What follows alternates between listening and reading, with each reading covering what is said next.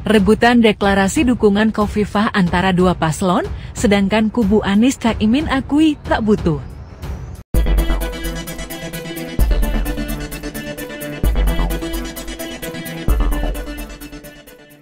Gubernur Jawa Timur Kofifah Indar Parawansa masih belum menentukan deklarasi Capres-Cawapres yang ia pilih di Pilpres tahun 2024 Hovifa Indar Parawansa dianggap mewakili tokoh NO yang juga bisa meraup banyak suara di Jawa Timur, sempat digadang-gadang masuk bursa cawapres. Nyatanya Kofifa hanya dinantikan deklarasi dukungannya, dua kubu paslon capres-cawapres pun mengaku sudah mengklaim dukungan dari Gubernur Jawa Timur itu, yakni kubu Ganjar Pranowo dan Mahfud MD, serta Prabowo Subianto dan Gibran Raka Buming Raka, dikutip dari Warta Kota. Ketua DPP PDI Perjuangan PDIP Jarod Saiful Hidayat mengatakan, peluang bergabungnya Khofifah semakin kuat.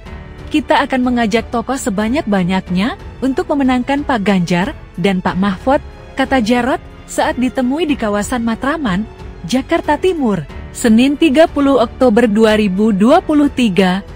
Jarod mengklaim, dukungan Khofifah itu akan berlabuh ke Ganjar lantaran ada kedekatan Bu Kofifa sama kita dekat banget.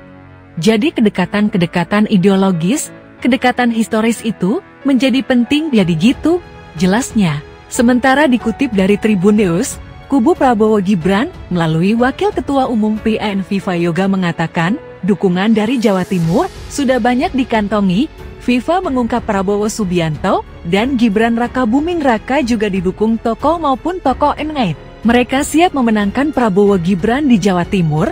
Pak Prabowo juga didukung warga Enai, kata Viva Yoga, Senin 30 Oktober 2023. Ada Kiai Habib Lutfi, Gus Miftah, dan beberapa kiai lainnya, dan ini menunjukkan bahwa kecerdasan politik utamanya orang NU itu, sejak awal mereka bebas untuk menentukan pilihannya ke mana, dan semuanya baik-baik saja, dan tidak ada masalah, katanya. Selain itu, ia juga telah mengklaim dukungan dari berbagai tokoh termasuk Kofifah. Di Jawa Timur banyak tokoh-tokoh yang mendukung Pak Prabowo baik dari kalangan NU maupun dari kaum nasional lainnya. Ada Pak Dekarwo, Kofifah, Emil Darda, dan beberapa kei lainnya.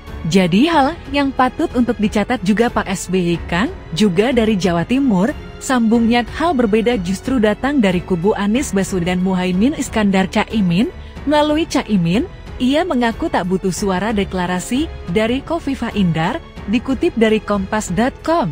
Cak Imin optimis akan tetap memenangkan suara di Jawa Timur tanpa Kofifa. Pokoknya kita akan kerja keras, tidak bergantung pada orang per orang.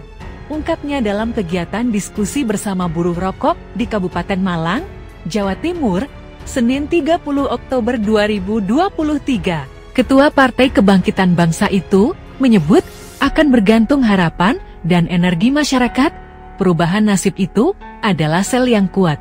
Tidak ada yang sengit, yang penting Akem In Anis Muhaimin menang, tuturnya.